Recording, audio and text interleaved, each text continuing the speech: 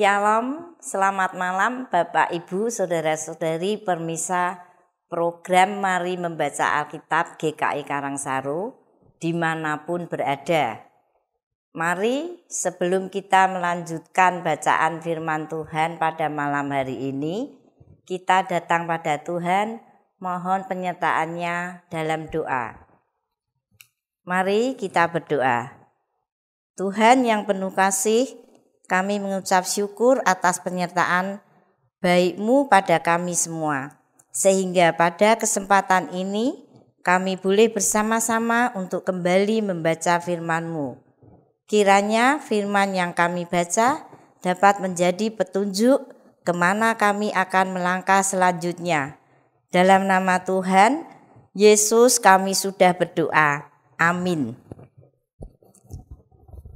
Tema bacaan Alkitab adalah penghakiman akhir Tuhan. Firman Tuhan diambil dari Wahyu pasal 17 ayat 1 sampai dengan pasal 20 ayat 15 yang berbunyi demikian. Lalu datanglah seorang dari ketujuh malaikat yang membawa ketujuh cawan itu dan berkata kepadaku, Mari ke sini, aku akan menunjukkan kepadamu putusan atas pelacur besar yang duduk di tempat yang banyak airnya. Dengan dia raja-raja di bumi telah berbuat cabul dan penghuni-penghuni bumi telah mabuk oleh anggur pecabulan. Dalam roh aku dibawanya ke padang gurun dan aku melihat seekor perempuan duduk di atas seekor binatang yang merah ungu yang penuh tertulis dengan nama-nama hujat. Binatang itu mempunyai tujuh kepala dan sepuluh tanduk. Dan perempuan itu memakai kain ungu dan kain krimisi yang dihiasi dengan emas, permata, dan mutiara, dan di tangannya ada suatu cawan emas penuh dengan segala kekejian dan kenajisan percabulannya. Dan pada dahinya tertulis suatu nama, suatu rahasia, Babel besar, ibu dari wanita-wanita pelacur dan dari kekejian bumi. Dan aku melihat perempuan itu mabuk oleh darah orang-orang kudus dan darah saksi-saksi Yesus. Dan ketika aku melihatnya, aku sangat heran. Lalu kata malaikat itu kepadaku, "Mengapa engkau heran? Aku akan mengatakan kepadamu rahasia perempuan itu dan rahasia binatang yang memikulnya. Binatang yang berkepala tujuh dan bertanduk sepuluh itu. Adapun binatang yang telah kau lihat itu telah ada, namun tidak ada. Ia akan muncul dari jurang maut dan ia menuju kepada kebinasaan. Dan mereka yang diam di bumi yaitu mereka yang tidak tertulis di dalam kitab kehidupan sejak dunia dijadikan, akan heran apabila mereka melihat bahwa binatang itu telah ada, namun tidak ada dan akan muncul lagi. Yang penting di sini ialah akal yang mengandung hikmat. Ketujuh kepala itu adalah tujuh gunung yang di atasnya perempuan itu duduk.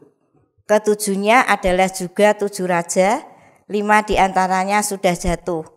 Yang satu dan yang lain belum datang, dan jika ia datang, ia akan tinggal seketika saja. Dan binatang yang pernah ada dan yang sekarang tidak ada itu, ia sendiri adalah raja kedelapan dan namun demikian satu dari ketujuh itu dan ia menuju kepada kebinasaan. Dan ke sepuluh tanduk yang telah kau lihat itu adalah sepuluh raja yang belum mulai memerintah, tetapi satu jam lamanya mereka akan menerima kuasa sebagai raja bersama-sama dengan binatang itu. Mereka seia sekata, kekuatan dan kekuasaan mereka mereka berikan kepada binatang itu. Mereka akan berperang melawan anak domba, tetapi anak domba akan mengalahkan mereka karena ia adalah Tuhan di atas segala tuan dan raja di atas segala raja. Mereka bersama-sama dengan dia juga akan menang, yaitu mereka yang terpanggil, yang telah dipilih dan yang setia. Lalu ia berkata kepadaku, semua air yang telah kau lihat, di mana wanita pelacur itu duduk adalah bangsa-bangsa dan rakyat banyak dan kaum dan bahasa. Dan kesepuluh tanduk yang telah kau lihat itu serta binatang itu akan membenci pelacur itu dan mereka akan membuat dia menjadi sunyi dan telanjang. Dan mereka akan memakan dagingnya dan membakarnya dengan api. Sebab Allah telah menerangi hati mereka untuk melakukan kehendaknya dengan seia sekata dan untuk memberikan pemerintahan mereka kepada binatang itu. Sampai segala firman Allah telah digenapi dan perempuan yang telah kau lihat itu adalah kota besar yang memerintah atas raja-raja di bumi. Kemudian daripada itu, aku melihat seorang malaikat lain turun dari sorga. Ia mempunyai kekuasaan besar dan bumi menjadi terang oleh kemuliaannya. Dan ia berseru dengan suara yang kuat, katanya, Sudah rubuh, sudah rubuh Babel, kota besar itu dan ia telah menjadi tempat kediaman roh-roh jahat dan tempat bersembunyi semua roh najis dan tempat bersembunyi segala burung yang najis dan yang dibenci.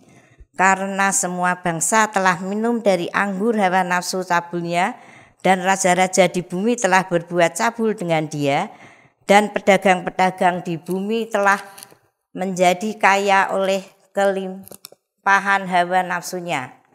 Lalu aku mendengar suara lain dari surga berkata, Pergilah kamu, hai umatku, pergilah daripadanya, supaya kamu jangan mengambil bagian dalam dosa-dosanya, dan supaya kamu jangan turut ditimpa malapetaka malapetakannya.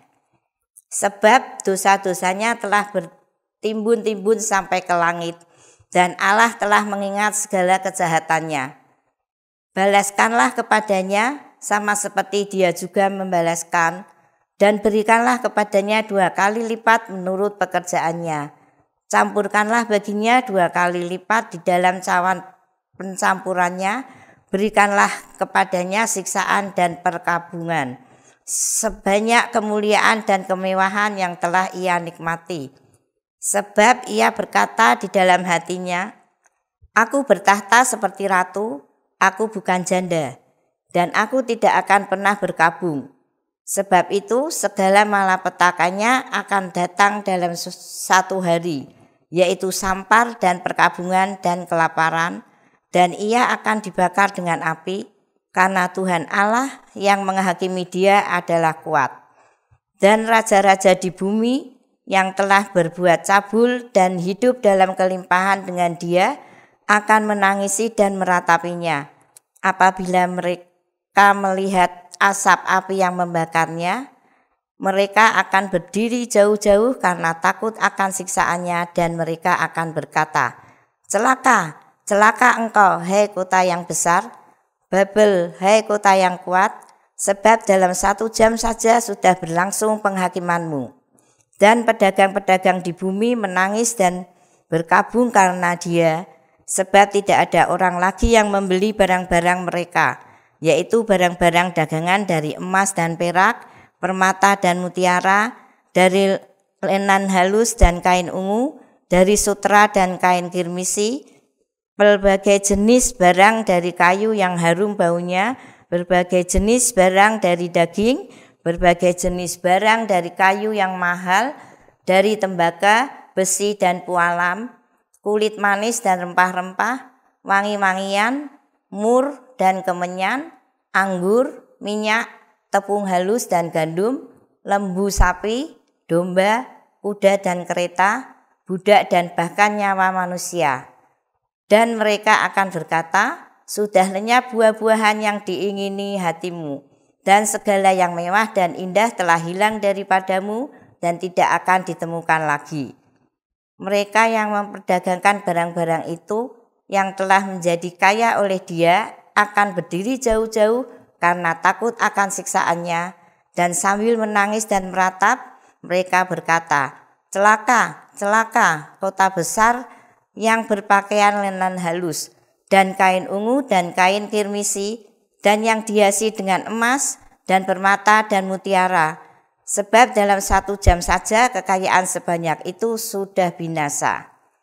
Dan setiap nakoda dan pelayar dan anak-anak kapal dan semua orang yang mata pencariannya di laut berdiri jauh-jauh dan berseru ketika mereka melihat asap api yang membakarnya. Katanya, kota manakah yang sama dengan kota besar ini? Dan mereka menghamburkan debu ke atas kepala mereka dan berseru.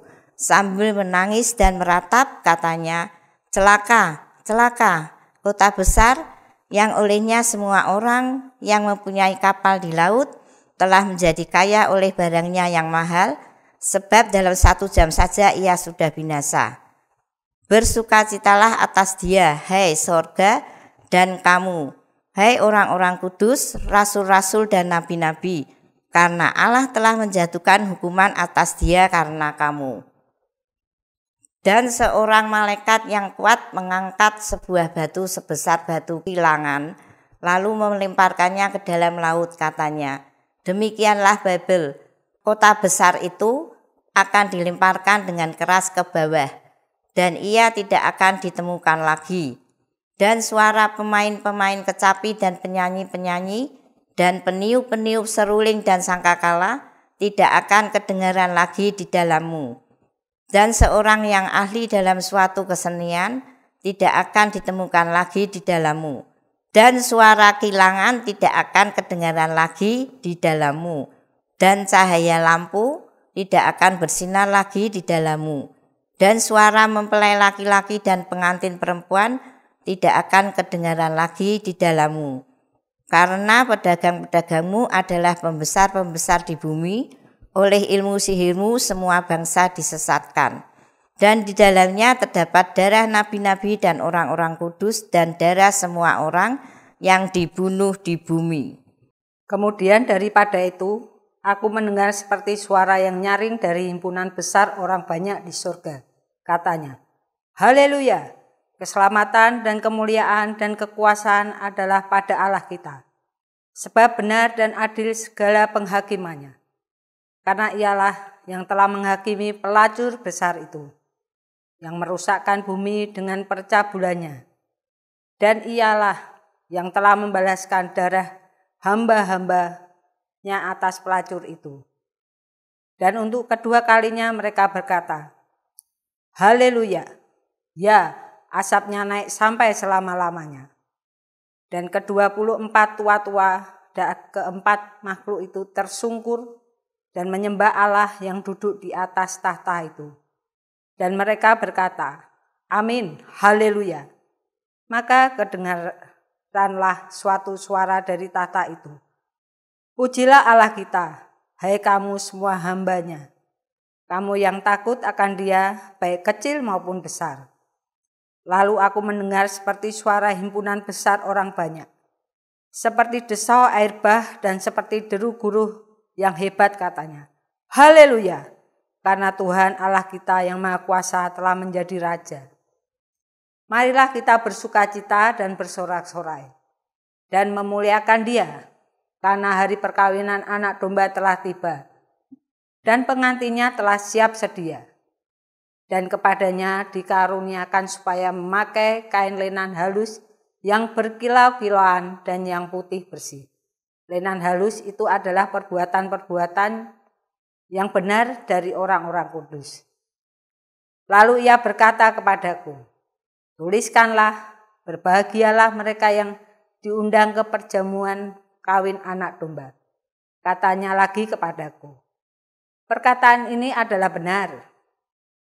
Perkataan-perkataan dari Allah, maka tersungkurlah aku di depan kakinya untuk menyembah dia tetapi ia berkata kepadaku, Janganlah berbuat demikian. Aku adalah hamba sama dengan engkau dan saudara-saudaramu yang memiliki kesaksian Yesus. Sembahlah Allah, karena kesaksian Yesus adalah roh nubuat.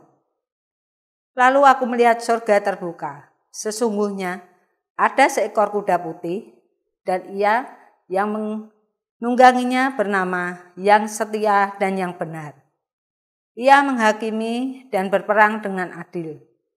Dan matanya bagaikan nyala api dan di atas kepalanya terdapat banyak mahkota dan padanya ada tertulis suatu nama yang tidak diketahui seorang pun, kecuali ia sendiri. Dan ia memakai jubah yang telah dicelup dalam darah dan namanya ialah firman Allah. Dan semua pasukan yang di surga mengutu dia. Mereka menunggang kuda putih dan memakai lenan halus yang putih bersih. Dan dari mulutnya keluarlah sebilah pedang tajam yang akan memukul segala bangsa. Dan ia akan mengembalakan mereka dengan gada besi dan ia akan memeras anggur dalam kilangan anggur. Yaitu kegeraman murka Allah yang maha kuasa. Dan pada jubahnya dan pahanya tertulis suatu nama yaitu Raja segala raja dan Tuan di atas segala Tuan.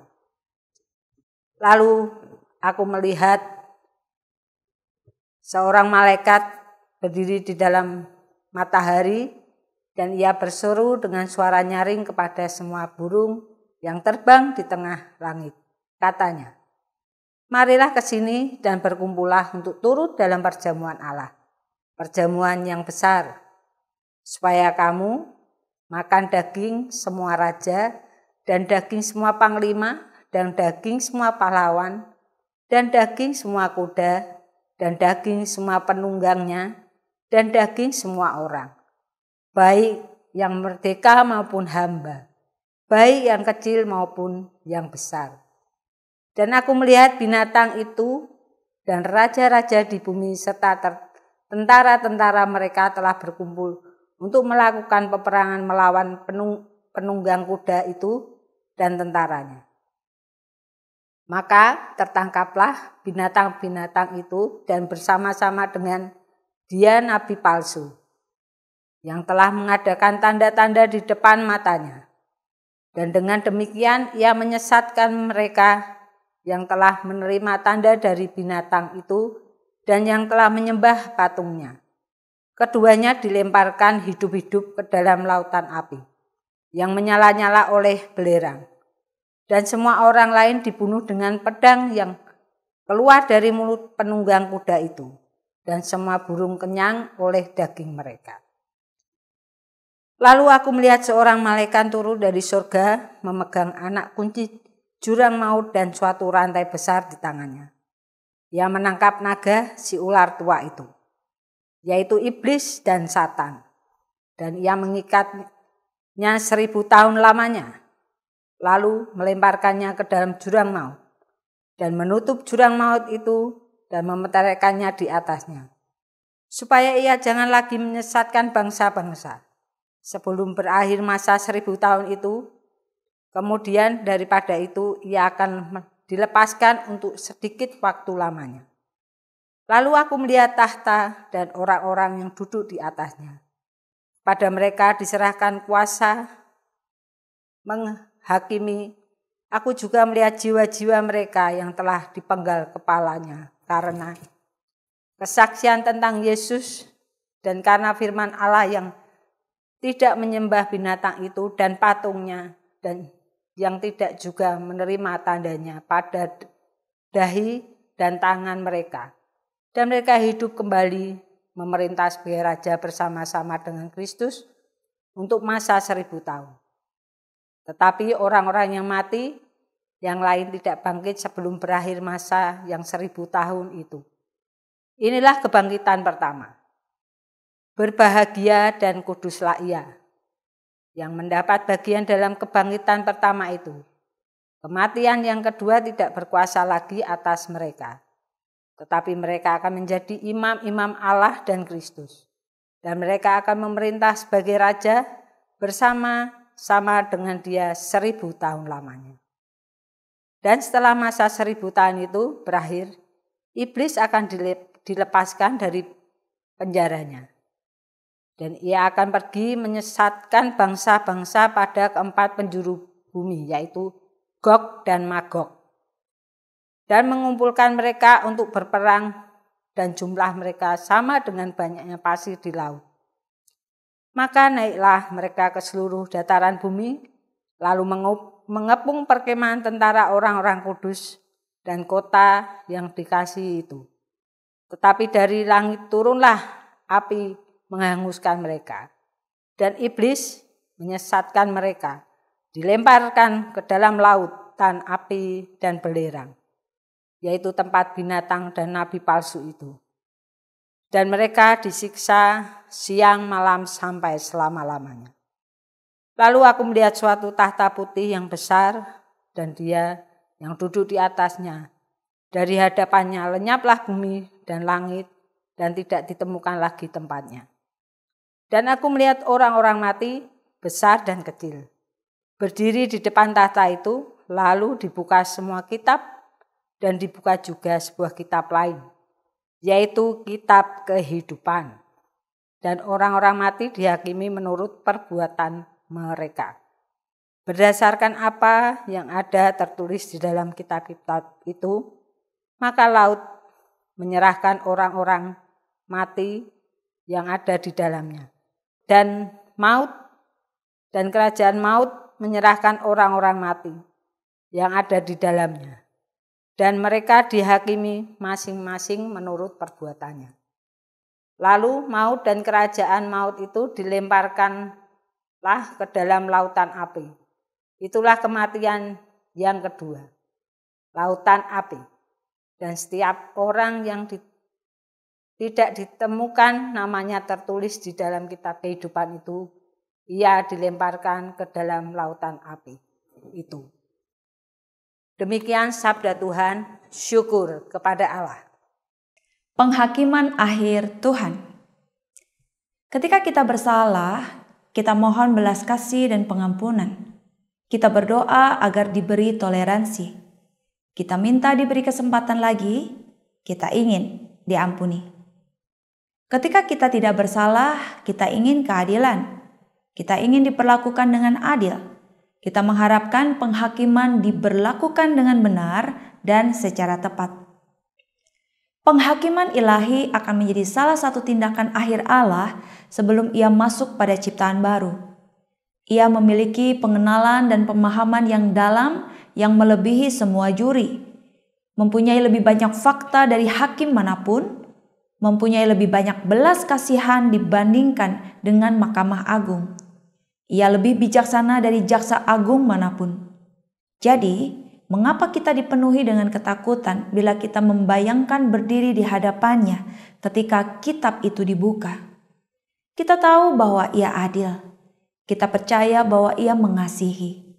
Jadi, apa masalahnya? Mungkin ketakutan akan ketidaktahuan. Apa yang terjadi pada kita ketika segalanya disingkirkan? Jauh di dalam hati kita, kita tahu bahwa kita bersalah, penuh dengan ketidaksempurnaan, motivasi, dan perbuatan yang salah. Kita bertanya-tanya, apakah Allah benar-benar mengetahui segalanya? Akankah dia buka semuanya? Kita bukan saja menginginkan belas kasihan, tetapi juga ingin lembaran catatan yang masih bersih. Kita berharap untuk memulai sesuatu yang benar-benar baru dengan masa lalu yang dilupakan dan diampuni. Kebenaran yang mengherankan dari kabar baik itu adalah ya, benar kitab itu akan dibuka. Ya, Allah mengetahui segalanya. Ya, perbuatan motivasi dan pemikiran kita telah direkam dan dievaluasi. Tetapi yang terpenting adalah Kristus datang, hidup, mati, dan bangkit kembali untuk mengampuni dan membersihkan kita. Penghakiman akhir itu akan adil. Tidak ada hal yang tidak dinilai, tetapi saat nama kita dipanggil, Yesus Kristus akan berdiri mendampingi kita dan mewakili kita dengan adil dan belas kasih. Ia telah membayar harganya, menghitung nilainya, dan sekarang membebaskan kita untuk hidup baru bersama selamanya. Amin. Mari kita berdoa. Bapak Surgawi, kemenangan akhir itu begitu menyeluruh, begitu lengkapnya. Terima kasih untuk Tuhan Yesus Kristus dan pengorbanannya bagi kami. Karena Kristus, penghakiman akan merupakan suatu perayaan. Dan tolonglah kami hari ini agar hidup dengan rasa syukur atas pengampunan dan kebebasan darimu. Bukan hanya hari ini saja, tapi di setiap waktu yang Tuhan masih percayakan kepada kami. Biarlah kami boleh didapati sebagai pribadi-pribadi yang setia di hadapan Tuhan dan sesama. Terima kasih untuk firman Tuhan pada malam hari ini dan kami bersyukur atas kasih sayangmu yang boleh melimpah kepada kami dari pagi, siang, sore hingga malam hari ini.